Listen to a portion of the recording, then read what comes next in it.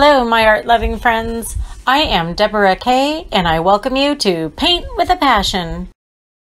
Today, I'd like to share where I make the magic happen and how I store all of my supplies. This is my creative center.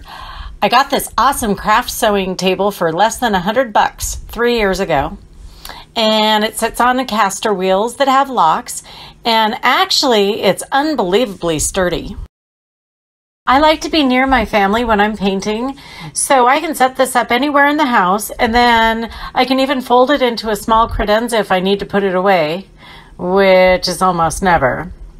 But my dream is to travel like a gypsy someday soon, and if I get a chance to do that, this little rig, it's going to work great in an RV. So, where do I keep all my stuff? If you're anything like me and you're going to Hobby Lobby, then you're definitely going to need somewhere to store everything.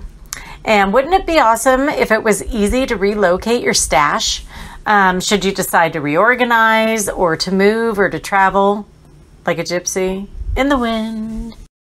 I know, I know, dream on, right? But hey, I'm all about maximizing the storage space I have. How about you? So, you might know I have two adorable kitties. And with kitties comes litter boxes. And with litter boxes comes the need for kitty litter. So the brand of litter that I buy, it comes in these really sturdy square plastic buckets uh, with reusable lids. And I just couldn't throw them away because I knew someday I was going to find a use for them. And that day is today. These square buckets stack together and create the perfect cubby storage. Plus, you know what? You've already paid for them. So you're not buying something new. And as long as you have a back wall and a side wall, you're good to go. The handles uh, on the bottom row where I line up the buckets, they work like a kickstand and they prevent the buckets from sliding forward.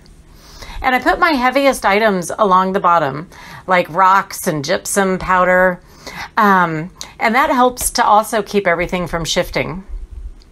Now, the top of the bucket is wider than the bottom of the bucket. So they tilt backwards a bit, and then the grooves just sort of lock into each other um, on top of each other, and it stops everything from shifting and sliding.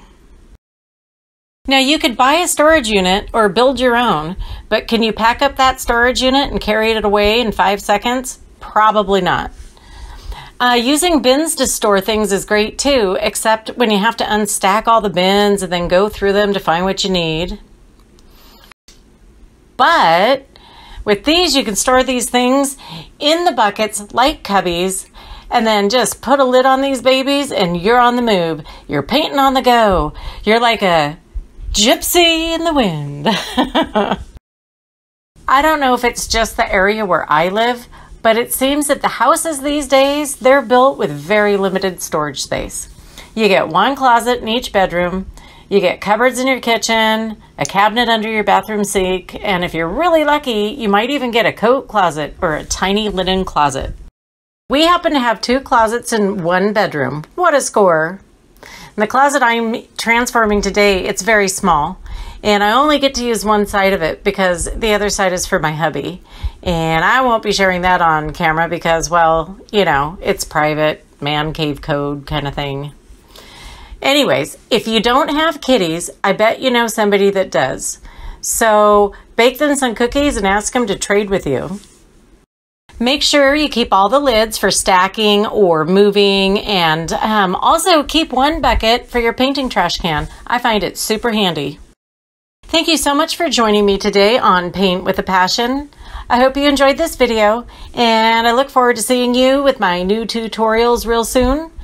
Let me know what you think and also let me know what you'd like to see in future videos.